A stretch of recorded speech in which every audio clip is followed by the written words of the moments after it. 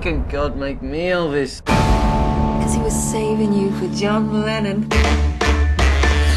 Glasses. Glasses. Glasses, John! I'm suspending you both. Questions? Any chance I can get the magazine back, sir?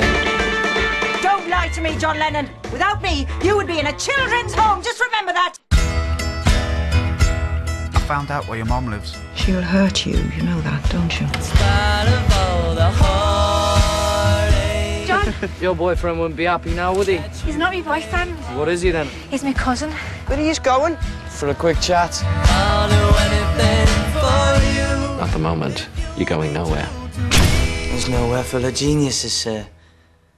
So I probably do belong there. I'm gonna start a rock and roll group. You've been picked to be in my band. We don't know how to play. You don't have to know. What's important is I've chosen you. I'm John.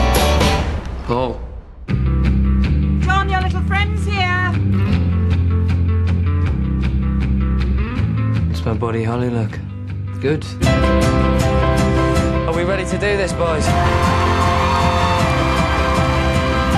If we're gonna do this, we should write our own stuff. I write stuff.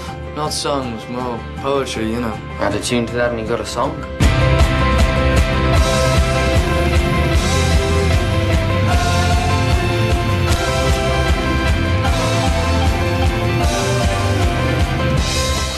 Hamburg. And is this with the new group? The, oh, what's they called again? You care?